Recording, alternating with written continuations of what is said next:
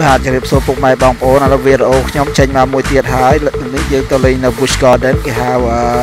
Comedy Picnic ហ្នឹងហើយហើយកូនក្មេងគេដើរទៅហើយទីតាទីតាហ្នឹងក៏គុនធាហើយគេទៅហ្នឹងគេទៅរួចកន្លែងអីញ៉ាំទៅកូនក្មេងនេះគេអាចកំពុយអូកប៉ាល់ហោះច្រឡំហើយអាកម្មាត់ក៏អភិញ្ញាឡើងទៅវាខ្លាច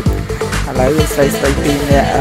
អាឡូរ៉ានិង Morgan និង Landon មកជីហើយនេះទៅហើយគ្រូ អីគេចោះមកវិញគេសប្បាយណាស់ហើយនេះ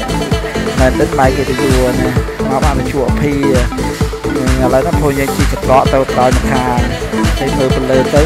ស្រាវដែរហ្នឹងហើយនេះត្រកចុះហើយនេះស្ដីស្អាតជាមួយភូមិក្មេងចុះមកហើយអានេះអឺពុនខ្ញុំគេដើរទេតាស់ទេតាស់អាភាដើរពីក្រៅតិចតិចតិចតិចទៅកម្ពុជាឥឡូវកូនក្មេងមកជីកនេះទៀតនេះទៀតទៀតឡើងទៅនេះឡើងទៅអូគេសប្បាយគេណា ហ្នឹងមើលស្ដាប់គេនិយាយហ្នឹងនេះឡើងទៅឡើងទៅឡើងទៅទៅអត់ខ្លាចដែរព្រោះនេះអត់សូវខ្ពស់អានេះកន្លែងតំបន់គូក្មេងលេងនោះអឺ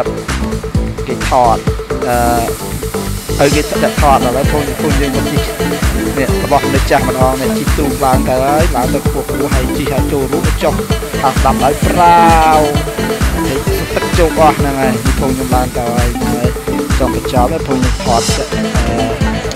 អឺ